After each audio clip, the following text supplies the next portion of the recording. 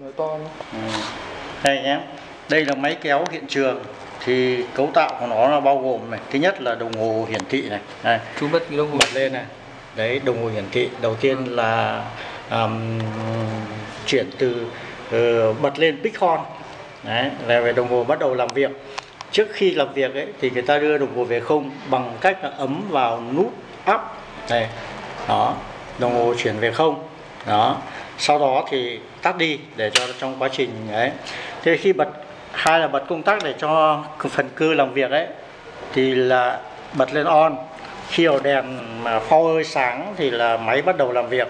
Thì nó gồm có hai núm điều khiển. Núm thứ nhất là, là lấy tốc độ. Ở trên nó đè đây này speed là lấy tốc độ này.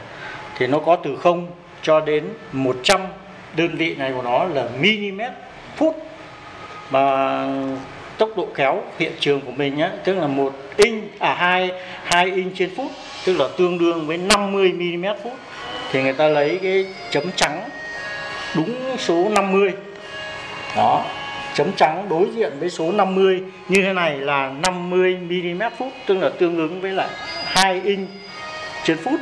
Đó, đó là à, đúng chỉnh thứ nhất núm chỉnh. Thứ hai tức là điều khiển cái ngàm di động. Khi mà để ở vị trí giữa tức là black là vị trí giữa thì ngàm không chuyển động. Tức là ở trạng thái nghỉ. Muốn chuyển về để về phía tay trái tức là nó gần với lại ngàm cố định thì chuyển sang reverse. À, đấy, thì ngàm chạy lên phần reverse. Khi mà khoảng cách đã đủ rồi á thì người ta sẽ chuyển lại break để cho ờ, dừng lại còn sau khi đã lắp xong mẫu thì người ta sẽ chuyển cái ngàm à, kéo lên tiến lên phía trước. Đấy, tức là khi khi lắp mẫu xong rồi đây mẫu thì nó cái ngàm của nó là ngàm lệch tâm cho nên là không phải uh, thì à, ấn chỉnh gì cả chỉ cần lắp vào phát là khi nó chạy cái là tự nó sẽ chặt càng chạy nó càng chặt. Thế là khi lắp mẫu xong thì động tác thứ nhất tức là bật đồng hồ. Bật đồng hồ tức là chuyển núm lên pick horn Đấy.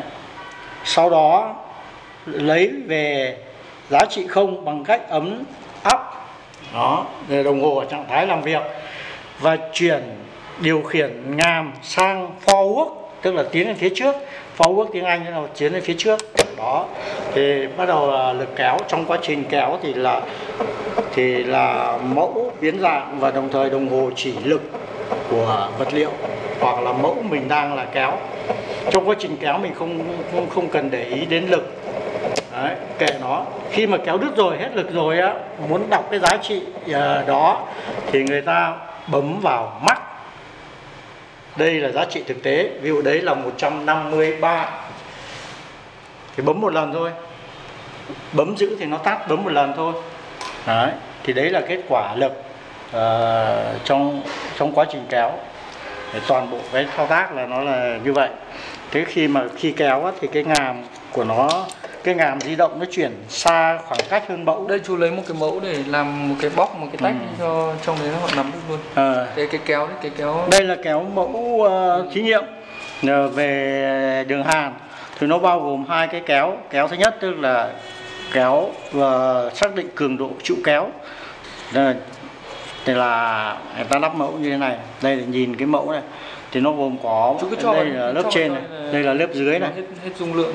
Đấy đây người ta sẽ lắp mẫu như thế này.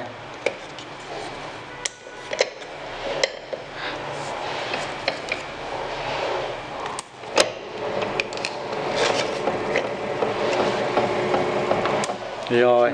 Đấy. Đây chú đây là là, là, là kéo này mẫu kéo này kéo muối hàn này. Ừ. thế còn ờ, bóc muối hàn thì chú chú tháo ra chú lắp theo phương pháp bóc theo theo theo theo kiểu để đấy bóc. thế là kéo thôi. Thế Vâng, còn là bóc kéo. thì là thì sẽ sẽ như thế này đây tách ra thấy chưa?